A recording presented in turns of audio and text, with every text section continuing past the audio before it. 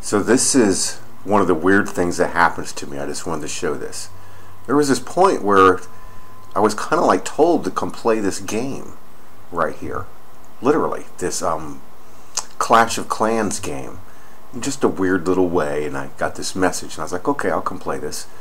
And as soon as I got on this game, this guy named, literally, Dogstar, came over and invited me to come to this, to the, um, the clan or the guild or whatever, their their team.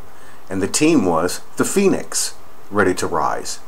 And immediately we started fighting another team called the Illuminati. I'm not kidding. These weird things happen to me all the time. I don't show all of these, but um, I just wanted to show this today because I just made this other movie about it, the ET that's coming to attack everybody.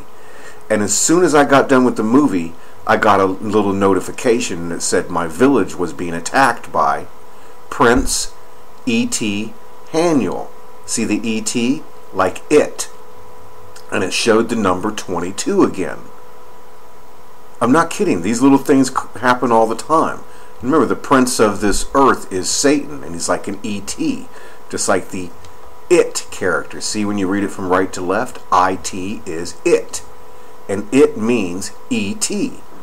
So again, another crazy situation. We have to keep watch on the 22nd through there.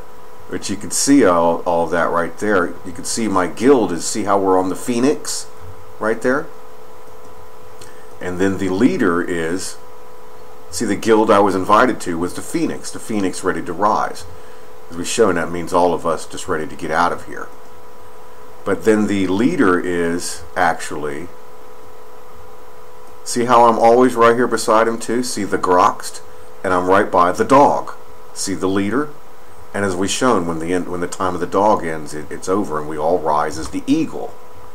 Because the phoenix represents the eagle when the souls leave, as the dead rise. Well, I just wanted to show this. Look at that crazy situation. And here's another thing that shows that Prince E.T. Haniel attacked me.